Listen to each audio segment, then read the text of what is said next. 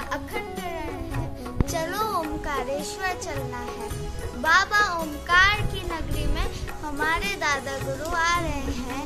चलो ओमकारेश्वर चलना है। नर्मदे हर आप सभी को समर्थ परिवार से